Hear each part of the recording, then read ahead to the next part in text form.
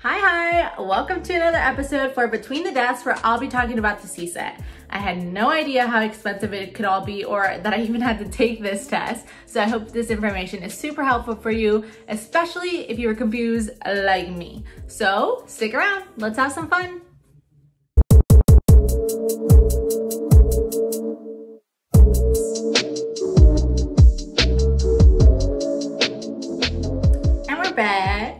Just wanted to say thank you so much to everyone that watched my first video and sent me some of the sweetest messages. It really means so much to me. I mean, you see the smile on my face? It's always there, but it's just extra big now because of all of you. So I just wanted to say thank you. If you're new to my channel, welcome. I'm Miss B and we're about to get busy. So let's get started. The CSET.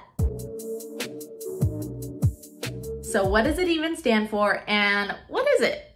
The CSET stands for California Subject Examination for Teachers. It's a group of subject matter tests to assess your mastery of subject content. Where do I register? You will simply go to ctcexams.nesinc.com, shown here. You will then see this is what the website looks like, and you can register at this top bar here. You're going to click register. Register now. You're going to click the CSET and continue. And so when you're looking at this website, you might be a little overwhelmed because there are a ton of tests you could take. So which one are you supposed to take? Yep. Aren't you glad I asked this question? Here we go. You're going to pick what subset you would like. Here you can see that there are a ton of subsets, and like I mentioned, if you are a single subject candidate, you will have to take the subset for that specific area. If you're looking to get your multiple subject teaching credential, you can see here CSET multiple subject. You will need to take subset 1, subset 2, and subset 3. So where can you take your CSET exams? Once you register to take your test, you'll have to pay before you could pick the time and place to take your test. And what I did is I inputted my zip code, you could see it here, and it found locations that were available to take the CSET. So how much is all of this gonna cost you, you might ask? I got you. So I actually took all my subsets individually, one at a time. And so they cost me $99 per subset, making my grand total of 297.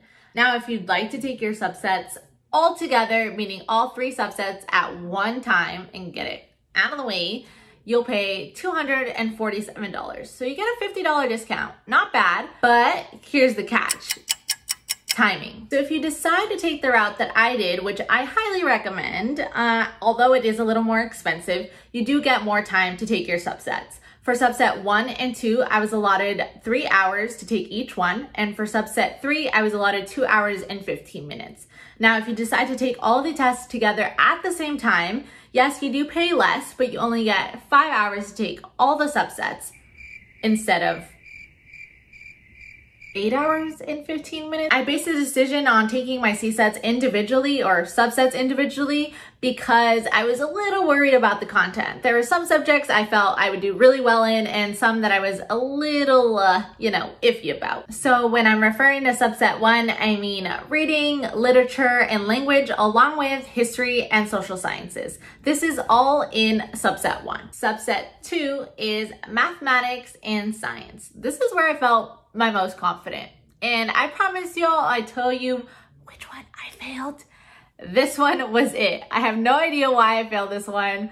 Actually, I do. It was because I had no idea what the water cycle was. Trust me, I know what the water cycle is now. I mean, I already knew what it was, you know, precipitation, evaporation, all that stuff. But for whatever reason, I had no idea that the water cycle was the name of that process. What? I know. I know, but that's subset two. Subset three has the most subjects to know. It is human development, physical education, visual and performing arts. So what's the format of this test? Subset 1 and Subset 2 both have 52 multiple choice questions and 4 constructed response questions. Subset 3 has 39 multiple choice questions and 3 constructed response questions. And after you take this test, when do you get your results to see if you passed? Um, it takes about five weeks to get your results back. Go ahead and click Get Results. From there, this page will come up and you can go ahead and see the release dates for the test you took, which would be the CSET here. You go ahead and click that. Go ahead and click CSET again. You're going to go ahead and find the test you took, which was the multiple subject CSETs, which will be whoop, down here. And depending on what date you took it, you'll see the release dates to your right.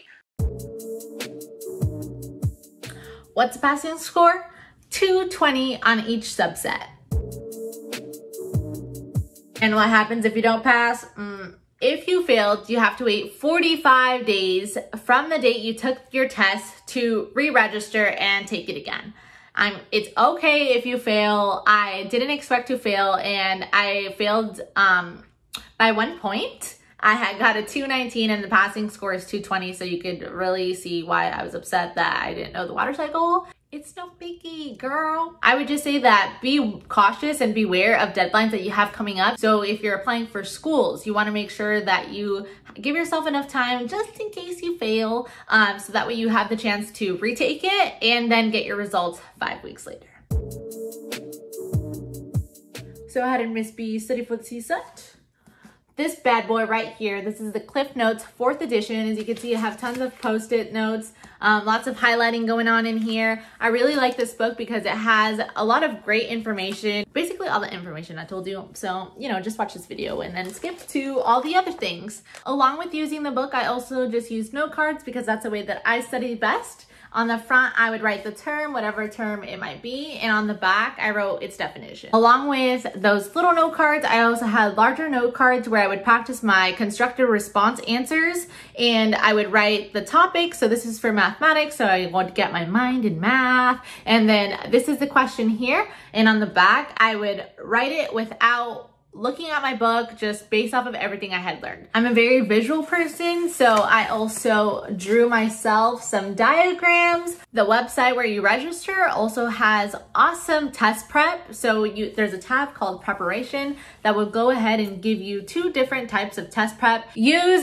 YouTube. I mean, we're on this platform, might as well use it to our advantage because there are so many people out there who have provided free content and why not learn from them? If you're feeling anxious or a little nervous or scared, don't worry, you're not alone. I postponed this test so many times and it's okay um, to feel that way. I mean, this content can be very difficult, especially if you haven't studied it or you don't remember it and you're having to relearn it and reteach yourself. Um, so don't worry, it's, it's gonna be fine. I'm happy that you're here and that means that you're probably gonna take your CSET soon. So if you haven't already, good luck. I'm rooting for you. We're all rooting for you. So that wraps up today's episode. Thank you so much for watching. If you haven't already, like, comment, and subscribe. Let me know what you think. If you're gonna be taking the CSET soon, good luck. You got this. I believe in you. And let me know if you pass down below in the comments. See y'all next time. Bye.